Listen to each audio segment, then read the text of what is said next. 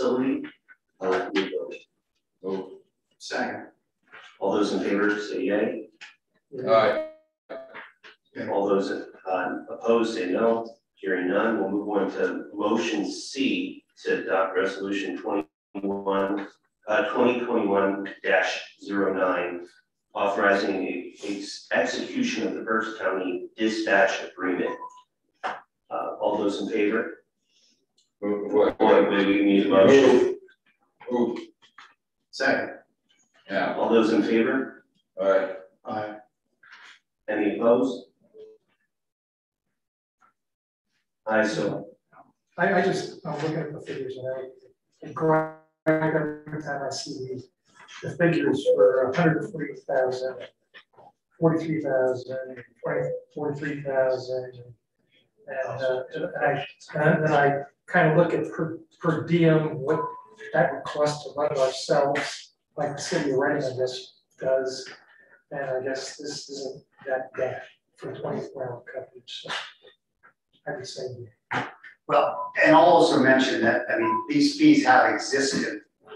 You know, when we pay these fees annually, the county just memorialized it via, you know, a formal agreement now, so all the participating municipalities know what type of increase they're gonna get. In the past, there was no set system, they're basing this on CPI, so um, it's just memorializing the the dispatch fees that we pay.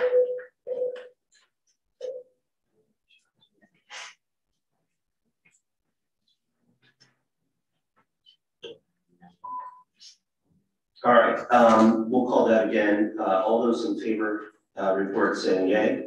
Aye. All those uh, opposed say no. Uh, motion carries. Um, the next one is motion to authorize the Hay Road Apartments letter of credit reduction based on August sixteenth, twenty twenty-one letter from SDE. The amount to be uh, retained is seven hundred eighty-eight thousand dollars, uh, four hundred ninety-two dollars and seventy-six cents. Um, any, uh, Move. comments? Should have a motion first, Move. then discussion. Yeah, uh, I'll, I'll second that. all right, um, any comments, concerns? Hearing none, uh, all those in favor? Aye. with- With yay, Aye. Okay. uh, any against? Hearing none, we'll move on. Um, motion passes, uh, motion to authorize the township manager to execute the memorandum, memorandum of understanding uh, with the Berks County Planning Commission to prepare joint comprehensive plan. Um, motion. Second. uh, any, uh, discussion? Yeah, I just, I'd like to comment. Um, again, we've been talking about this for the last couple of months. Uh, I, I know there was some concern, the, uh, from outcomes, um, within the forty thousand dollar range.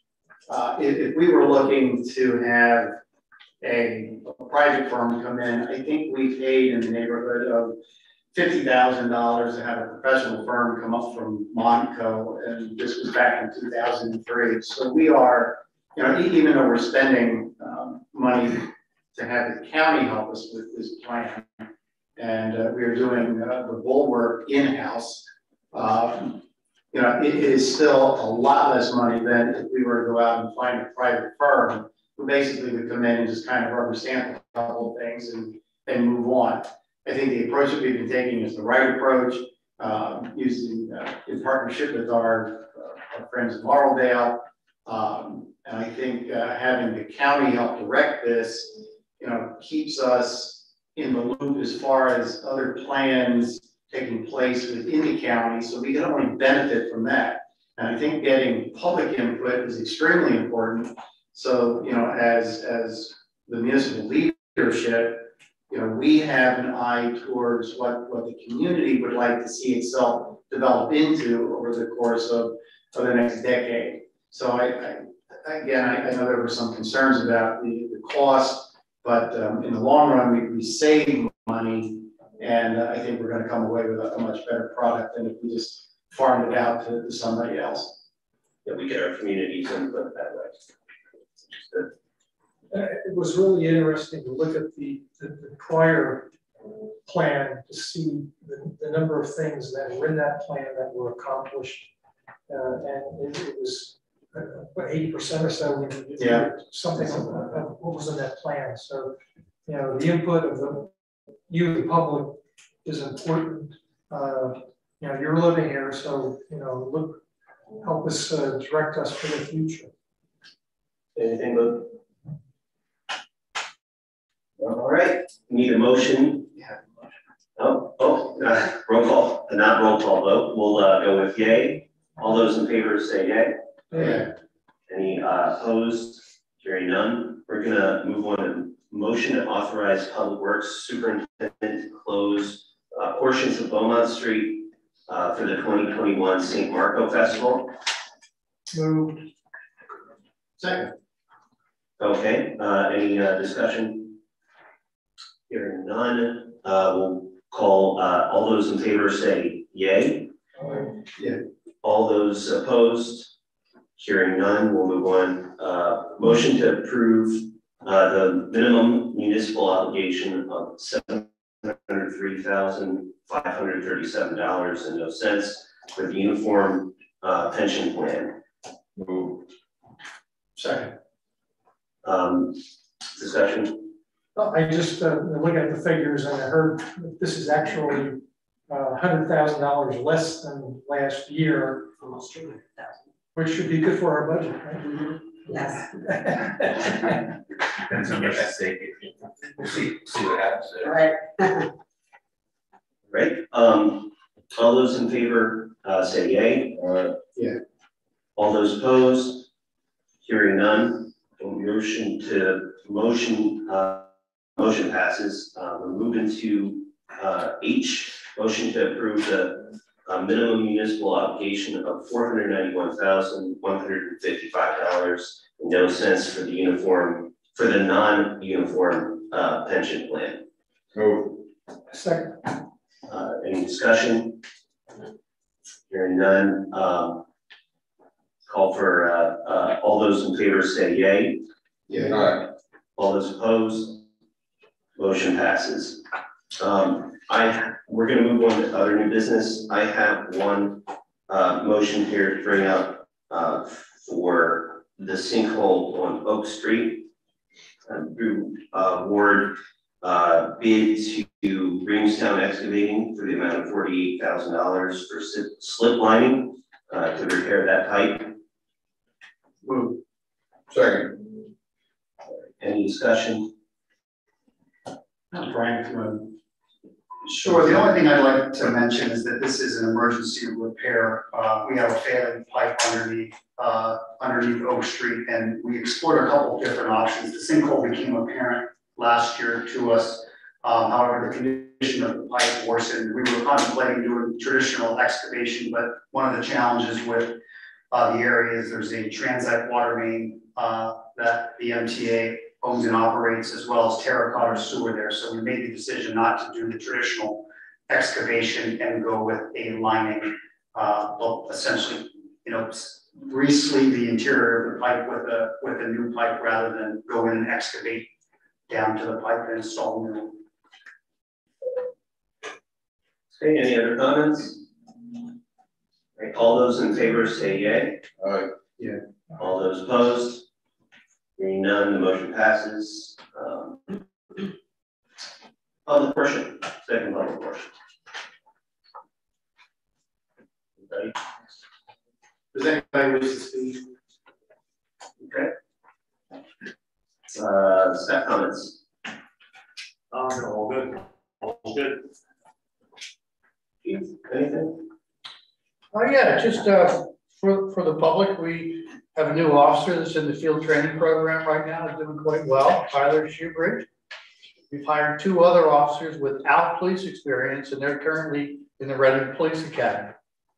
And, uh, just generally, I was noting, you know, by your, your police report, some of the more prevalent calls for service that we have, we, are domestic disputes and problems and, and arrests. And, uh, retail thefts are a big problem for us, as well as uh, like credit card fraud and, and white collar crime. So detectives and officers are constantly working on those. Um, so the public knows what kind of, what kind of things we're experiencing out there. Thank you, Chief. Jeremy?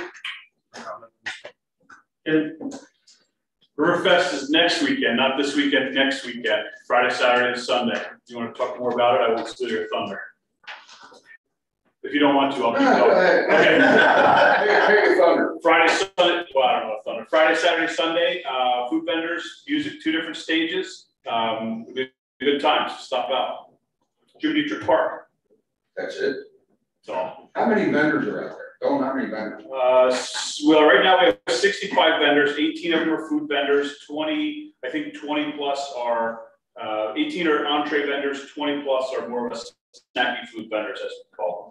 Then there's some crafters and some home-based businesses, things like that. You got a brand new stage this year? We do the new, new acoustic stage, New yeah, Acoustic stage, there's gonna be more lights on? more lights, yeah, yeah, and we've got some, some, some streamlined features, yeah, the, the trail lights are gonna be automatic this year, so, I yeah. wanna, wanna thank Tricia Reed for the Adirondack trails. Right, we didn't get those yet, yes, you're right, We didn't get them yet? not yet, We're we going to. we got, got a week and a half. Okay, is there anything, any other new developments you need to tell them about? I think so. Is there? Are you sure? That's why I left the thunder up to you. That was You good. seemed like you were gonna be able to handle it. Fine. Okay. Just checking. Riverfest, twenty-seven, eight, nine, Friday four to ten, Saturday ten to ten, Sunday ten to seven. So, uh, if you're not there, shame on you. You'll be kicking yourself for a whole year if you miss this festival. See? Got Alright. So Um, just want to remind the public that the trash bills are due at the end of this month, August thirty-first. All right, good. Moving on to Commissioner. Uh, Commissioner Lynch, Director. Uh, thank you. Um, nice job, Rick. You know, it's, it's hard, you know, it, it- first of all, it's hard, you know, to be elected, uh, a public official. Um, you know, a lot of people think they can do it. And, you know, I've said it many times, you know, when, when you're actually sitting up here and making decisions, you know, they, they are a lot more complicated, um, you know, than, than sometimes they seem. And actually sit down and run a meeting, uh, you, you do it once or twice, you know, it, it can be difficult, a little challenging, so nice, nice job there. Um, I was at the, uh, the wine and dine the other night, we had a really good turnout, uh, I want to thank the the Rotary Club, um, for all they do, uh, all the service work that, that they do for, for the- the township and just people in general. Uh, we had a good time, so I am looking forward to uh, Riverfest. I think it's, I think it's gonna be a blast, uh, it'll be nice to be out and about again. Um, so do come because the uh, planning commission will have, uh, a tent set up where the residents can come and interact and, and help us make some determinations on uh, where we, what direction we wanna take the township, uh, as far as our comp plan goes, so residents are welcome to, to come to Riverfest, stop by, talk to the planning commission and uh, weigh in on where you'd like to see us in the next few years. They have uh, some interesting information and, and a way to, to take your input, so uh, you all get a chance to come out. And that's all I have. Thanks for coming out tonight, folks. Commissioner Kimball. I'm gonna let Steve go and I'll follow him. Okay. Uh, Commissioner Wolfinger. Well, you know, uh, to go along with Riverfest, the Friday night concerts, this year I think have been fantastic. Uh, I, I've been to every one of them. Uh, the bands were, were very good. You'll see some of the bands at Riverfest that played Friday night. Uh, the attendance, I mean, there was some evening we had eight hundred people there. Uh, and actually, I'm surprised we don't have more. Every time I drive out there and I hear the music, I'm thinking, why don't we have more people here? Uh, just like some, some of our neighbors don't know what's going on, and it is a it's a nice evening. Um, The, uh, the police had, had their national night out, which was really well attended. And we've stayed, helped police helicopter in, and the kids were really enjoying that. And The police did a very nice job. Did a very nice job. Um, It's just, it just shows what, right, we in Muhlenberg, I think, that we get a lot, I think, uh, from our, from, we give a lot to our citizens. Uh, I, and for the people who are attending here tonight, uh, I'm gonna put Jim Bobick right on the spot here. Uh, I'd like their opinion on recycling. So why don't you give them a little feel as to what, what you think you'd like to do? Co, there's a blue recycling can over here at the side of the room. Um, it's a, it's a sample from a company. Um, we have the option to purchase them, so every, every one to two years, but it depends, whatever the state opens the grant cycle, the township can apply, and we've applied, um, I've applied in 2014, 16, 18, uh, 20, we'll apply again in 21, we're currently writing an application now. And the application this time, uh, will be for new recycling containers. So what Steve's wheeling out, that's a forty-five gallon container on wheels with a hinged lid. If you have a recycling container from the township now, it's a twenty-five gallon bucket with no lid. Um, we have the option to, to use those forty-five gallon cans, or a size larger is a sixty-five gallon can. Um, the, the project would be, the, the cans would be fully funded by DEP. And so we don't really know which direction to go yet, but we've kind of been talking about it internally. Um, would you prefer a forty-five gallon can, a sixty-five gallon can? Do you have place to store a sixty-five gallon can? It'll be about three times the size of the small bucket that you already have. You know, you're still gonna get, your, your, your recycling service is still gonna be twice a week, depending on which side of the township you live on. It's a Wednesday or a Thursday and a Friday. Um, would you fill more than that in a week? Just for show of hands, who, who would prefer the sixty-five gallon container? Sixty-five gallon is gonna be about a foot taller than that. It'll be the same dimensions, uh, width and depth. Who would prefer the forty-five Yeah. gallon? Who doesn't care? That's, And it's good that it has a width, because Yeah. that's part the problem now. Yep. Puts the middle on, and everything just blows around. That's correct, yep, yep, and we don't issue new, new lids, we haven't issued new lids in, in probably ten years. Uh, we used to give lids when we had them, but yeah, that was the problem, the lids kept blowing off, and so we thought, okay, well, a hinged lid, so even if the container blows over, there's a chance that the lid still traps some of the recyclable material from blowing out. Isn't there a small, smaller model that? Yeah, the next size down would be a twenty-five gallon, which is what we already have, it's the buckets that we already have, with no lids and no wheels. I see more votes for the forty-five. Yeah. Go for the forty-five. Two votes yes, two abstentions, one indifferent. Thank you. I'll defer to Commissioner. Commissioner Islam? Um, I was gonna let this go this month. Uh, you know, there's been a feud between the school district and me, not the board, me. Um, last, I got called out, they sent a- an email to the board of commissioners. And then they sent me a separate copy of the same email.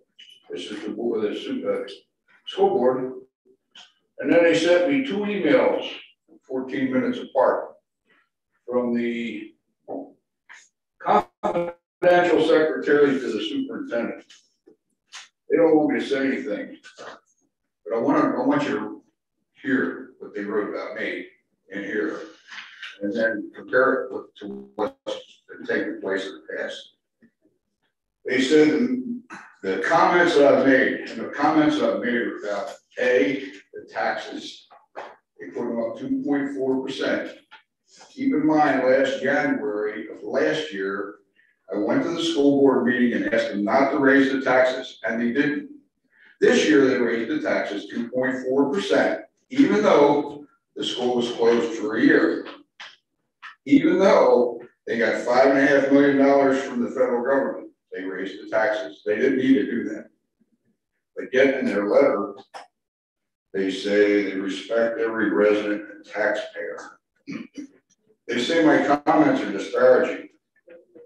Because if you read the Reading Eagle, April 29th, the rundown of this, the list of schools, the school ranking, Muhlenberg School District is fifteenth out of eighteen. That's a fact. These are all facts. So let the fact checkers check to it. They're all facts. They said I was rude and offensive. Vitriolic rhetoric, what I said was dangerous, potential to incite violence.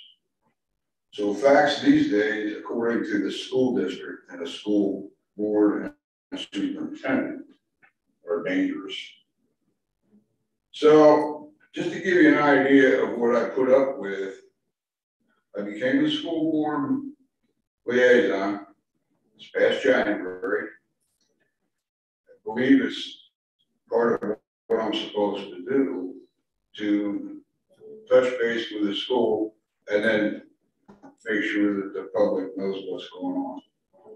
Incidentally, the school board last November gave the superintendent a new contract, a new four-year contract, but the wages were never divulged, uh, according to Reading Eagle. So curious what they might be. We, know it's over two hundred thousand dollars. Well, the guy runs us into the ground. In any event, uh, just to give you an idea how I was treated, board member Richard Hoffmaster became visibly angry and walked out on the floor. That's a, a quote right out of Reading Eagle at one of the meetings that I went to. Um, so, they call in the paper. The superintendent said, stated Reading Eagle 3-13-2020, that my remarks at their school board meeting were toxic comments, distorted agendas, and hate, followed by this outright racism. That's Reading Eagle. These are all facts, look them up. So I just, uh, along with this, I'm just gonna say this. We all just got these in the mail, and they're due at the end of the month with trash bill. Everybody's went up. It didn't need to, but it went up anyway. So I'm simply gonna say, speak out November. I'm done. Commissioner Imhoff. Um, I'm just gonna make a couple comments real quick and then, uh, we'll, we'll, uh, wrap things up. Um, personally, I, I find it offensive that the, uh, school district sent us a letter. And here's why. They can't seem to take, uh, negative criticism, uh, from a taxpayer. Somebody that, that, uh, may not have voted their way, but, uh, you know, deserves the right to speak up, uh, nonetheless. I find it outrageous. I now I wasn't there in the meeting, uh, but I'm, I'm pretty sure lots of people, uh, taking notes. I, I, I find it outrageous, uh, that they classify verbiage that disagrees with them, no matter how coarse or, or terse, uh, and then, and then they, they call it, you know, hate or race. They, they go right, right to, to the lowest of low. Then they waste time.